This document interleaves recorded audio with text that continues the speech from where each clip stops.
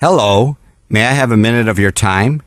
Today I would like to tell you a wonderful story. Jesus said, The kingdom of heaven is like unto a merchantman seeking goodly pearls, who, when he had found one pearl of great price, went and sold all that he had and bought it.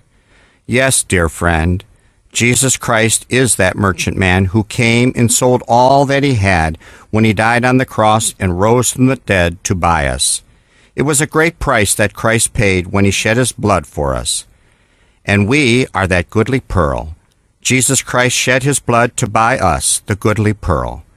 Dear friend, now isn't that a wonderful story? And what is best about it, it's a true story. Please visit us at BethesdaKJV.com or Bethesda Baptist Church, 992 Broadway Avenue, Bedford, Ohio. This is Pastor Gary Tucker reminding you that Jesus saves.